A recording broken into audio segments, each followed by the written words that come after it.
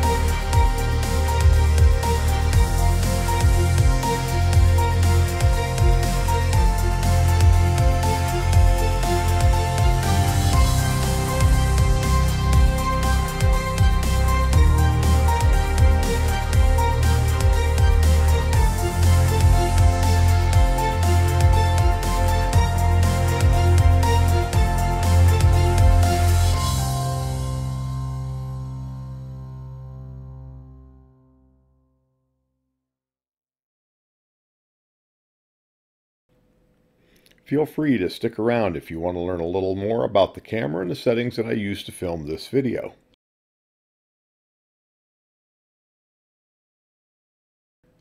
Let's talk about the Sony RX10 Mark III and how to shoot high frame rate video. Hey, Phoenix Rising here, and today we're going to be talking about doing HFR, high frame rate video, with the Sony RX10 Mark III. So let's go ahead and get into it, shall we? Okay, for starters, uh, to access HFR, you have to set your mode dial to HFR. And uh, once you're there, your camera is going to look a little different on the back than what you're used to seeing. And let me clear off the, there you go, cleared off the extra stuff from it. Now, if you'll notice, it had the uh, little uh, note saying, hey, press your center display button to go into standby. Right now, if I try and take a video, it'll tell me uh, when the center button is pressed, the device enters shooting standby, is uh, which is displayed, and then you can hit the movie button to start recording. Okay, so that's the gig. So what you have to do is basically, in uh, you get everything the way you want it. You get your ISO set, your uh, exposure compensation, focus, all of that. Uh, f-stop, which I think that's pretty much automatic in HFR. Shutter speed you can't really mess with in HFR because it's determined by your frame rate. We have a 480 frame rate setting selected, so we have to have a shutter speed faster than that, which is 1 500ths of a second. Uh, so once you get everything framed, everything in focus, Then you press your standby, and what you'll notice is it buffers in the image information for a bit, and it locks down everything. Okay, so let's go ahead and do that. Uh, now it says preparing, and now it says standby, and the record button starts to film. So looking at that, if I go to try and change the zoom, it tells me invalid, shutter speed, invalid, even getting into the menu, invalid, everything. So you're locked down, it's ready, and what's going on in here is this camera is, is looping high-speed video in the camera's internal memory buffer. So that allows you to do a couple things that we'll talk about in the different uh, settings when we go into it. So we're in shooting standby right now, and once I hit the record button, it'll say recording. Now what it's doing is it's actually processing the image in the buffer and writing it to a file as you can see by our memory card access here. Uh, and this takes time, and you can't, your camera's locked up, you're out of the game, you can't take another video, obviously, or do anything else while this is happening. Okay? So, that's, uh, now we're back preparing, back to standby. Now we can shoot another video. Now, there is one thing you can do is when you hit your record button, you can press your center button, and that'll cancel the processing. It'll save an abbreviated uh, high-speed clip, uh, but you have to make sure it's processed past the point that of, of whatever you want to capture, uh, or else you're not going to you're going to lose whatever you did. So that's the way this works from a from a, just a shooting functionality standpoint. Now, when we did the lightning videos, uh, I went ahead and I set the ISO way up to the maximum of 12,800, which gave a very uh, very ugly output. Okay, anybody who's played with a camera knows that. Uh, you know, for good pictures, photo photography, you really want to stay 800, maybe 1600 is pushing it some. Uh, and this is 12,000. So yeah, it's an ugly, it was an ugly video that it took, and I did clean that up in post-processing and got rid of about 60% of the noise. Maybe, yeah, that might be a good topic for a video someday. Although I'm by far not an ex, I'm far from being an expert in processing video. So let's go into the menus and look at, well, whoops, I gotta go back out of standby, right? Oops, I think I did, and I'm back in it again. Okay, there we go. So let's go into our menus and look at our HFR settings. Now this is a Sony RX10 Mark III. The RX10 Mark IV has a newer, much improved, as I'm told, menu system. But this is what we have, so this is where we're going to look at your settings. And the settings should be the same if you do have a Mark IV. Okay, HFR settings is on your camera menu, a second one over, a second screen. Uh, press your center button to go in. You have four settings, which are record setting, frame rate, priority setting, and record timing. Uh, if you'll notice, it says 8x slow-mo right now, and if, and what it's going to tell you and what your slowdown effect is going to be is based on the output record setting, uh, how many frames a second output, and the frame rate you're recording at. Okay, it's simple math here. So let's go in and look at the record setting.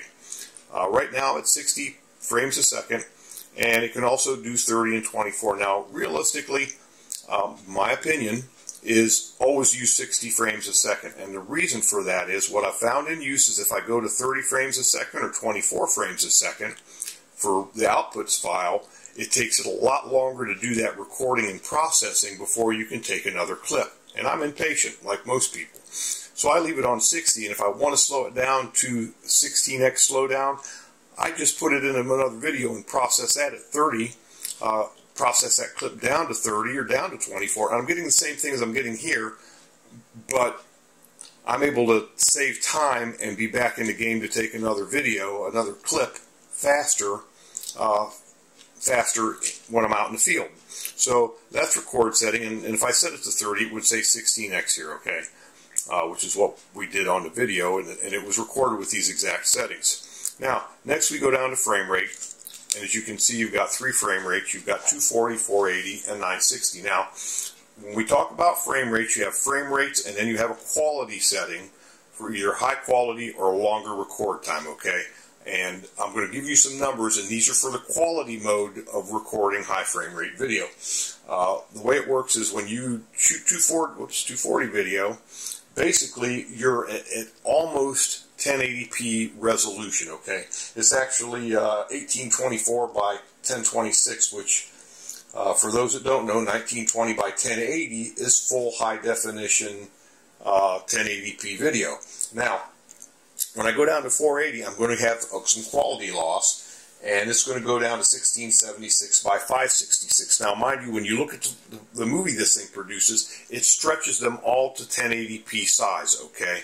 And that's part of why the I wish Sony would let it just output the native resolution and you stretch it, because that takes adds time to your processing, okay? But as you can see, the 480 quality is not bad. Now, it's really the lightning clips were not a good judge of the quality and how things looked because it was so dark and I had a high ISO and was you know worst case situation for doing high speed video. Uh, so the 480 is moderately usable, uh, not super pretty but but usable. And then by the time you go to the 960, you're way down to uh, you're way down to 1136 by 384 resolution and unless you really, really need to slow things down that fast, it's not very usable, okay? Uh, that's just my take on it. So I generally tend to stick with 480 because that's kind of a, you still have pretty decent quality and it gives you a good slow-mo effect. If you go down to 15 frames a second, that's 30, uh, 32x slow-mo, uh, and, and, and 30 frames a second is 16, and that's pretty decent. You can capture most things that way. Okay, so enough of that. And here, priority setting, there's where you go quality or shoot time priority. Like I said, I always choose quality priority unless I absolutely need more than to, to capture more than two seconds of slow-mo video. And with the end trigger this thing has, usually that suffices.